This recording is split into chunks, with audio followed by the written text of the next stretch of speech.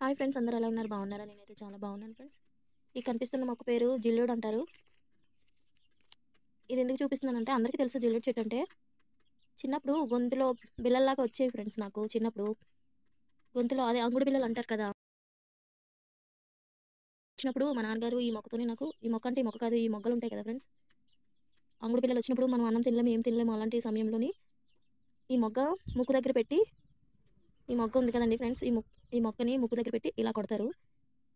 ఇలా ఈ మొగ్గని కొడితే పేలుతుంది అనమాట ఇది. పేలినప్పుడు అంగుడు పిల్లలు పేలిపోతాయి అనమాట పేలిపోయి క్లీన్ అయిపోద్ది అనమాట అంగుడంతా అలా అని మీరు చేయొద్దు ఫ్రెండ్స్ తెలిసిన వాళ్ళు చేయాలి. ఇది మా నాన్నగారికి తెలుసు కాబట్టి మా నాన్న చేశారు. మీకు తెలియదు కదా చేయకండి ఇది చిన్నపిల్లలు ఎక్కువ వస్తాయి కదండి అంగుడు పిల్లలు అంటే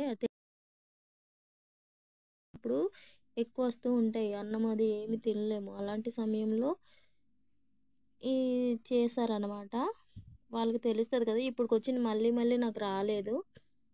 అదే లాస్ట్ చాలాసార్లు వచ్చాయి కానీ ఈ మొగ్గతో అలా చేయడం వల్ల ఇంక తగ్గిపోయింది మళ్ళీ మళ్ళీ రాలేదు. ఈ మొగ్గ ఉంది కదండి ఈ మొగ్గని ముక్కు దగ్గర పెట్టి ఇలా కొడతారు. అది ఇలా ఇచ్చుకుంటుంది అనమాట ఇచ్చుకు ఇచ్చుకున్నప్పుడు లోపల ఉన్న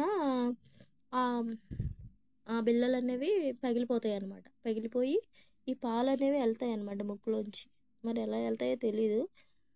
వెళ్ళిన తర్వాత అవి పగిలిపోయి క్లీన్ అయిపోతాయి మొత్తం.